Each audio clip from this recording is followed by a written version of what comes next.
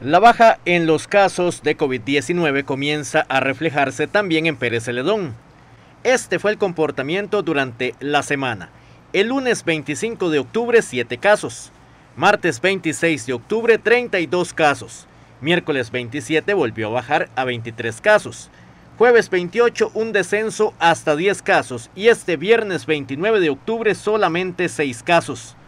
78 casos nuevos en 5 días, un promedio de 15, el más bajo en los últimos meses. Este es el repaso de los datos de este viernes 29 de octubre en toda la región Brunca.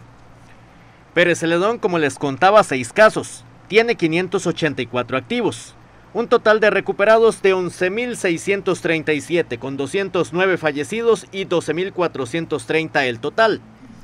Corredores 6 casos nuevos, 223 están activos, 5.709 están recuperados, 86 fallecidos y 6.018 el total. Golfito 6 casos también para hoy, 117 permanecen activos, 3.917 ya superaron la enfermedad, 49 lamentablemente fallecieron y 4.083 la cifra total en ese cantón. Buenos Aires, solo un caso para hoy, 238 activos, 2.779 recuperados y 3.095 el acumulado. Cotobruz, 6 casos para hoy, 136 están activos, 2.841 están recuperados, 25 fallecidos y 3.002 el acumulado.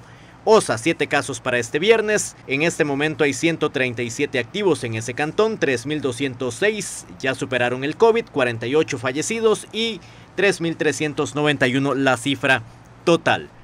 Haciendo la suma en los seis cantones de la región Brunca, tenemos para este viernes 32 casos, la cifra activa está en 1435, la cifra recuperada en 30.089, la cifra lamentable de fallecimientos en 495 y el total en todo este recorrido de pandemia 32.019 casos, datos del Ministerio de Salud.